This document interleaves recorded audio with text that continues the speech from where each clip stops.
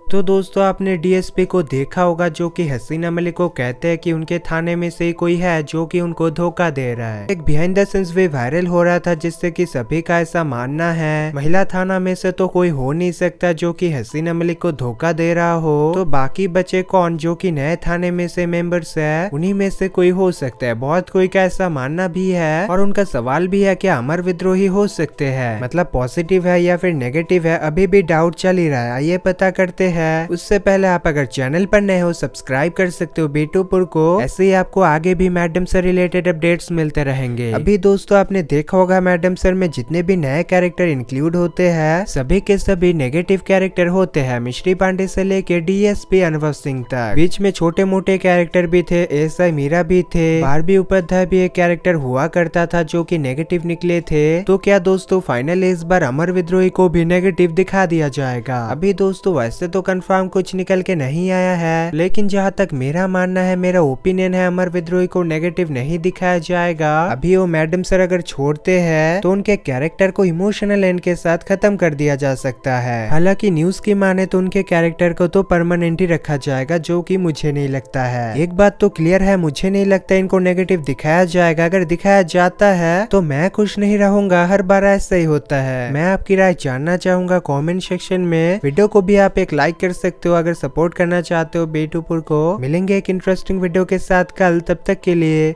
bye